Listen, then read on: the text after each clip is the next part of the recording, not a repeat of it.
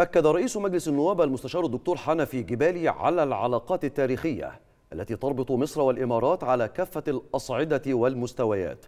وخلال استقباله رئيس المجلس الوطني الاتحادي الإماراتي صقر قباش استعرض المستشار جبالي الطفرة النوعية التي تشهدها مصر في مجال البنية التحتية خاصة في مجال الطرق وهو ما يجعل بيئة الاستثمار في مصر بيئة واعدة.